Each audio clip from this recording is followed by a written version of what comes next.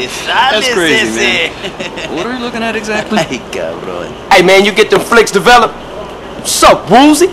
Hey, Carl. I was just explaining to your brother-in-law that we were friends. Oh, yeah? Well, look, Woozie, I need to get some info from you, man. What exactly do you boys want to know? Who are these putas, Holmes? Why don't you go take a look? These guys? Yeah. They're the Loco Syndicate. They're pretty big time, I think. Don't have any dealings with them. We don't touch blow.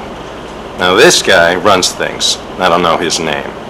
This guy is T-Bone Mendez. He's the muscle. And who's that guy? That's Jizzy B. He's the biggest pimp in town. He helps set up the deals. You know, uh, concierge of sorts. Hey, then he my way in. How I get to him? Oh, Jizzy? Jizzy runs the Pleasure Domes Club in that old fortress under the Gant Bridge. Hey, good looking out, Woozie. No problem. Don't be a stranger. All right.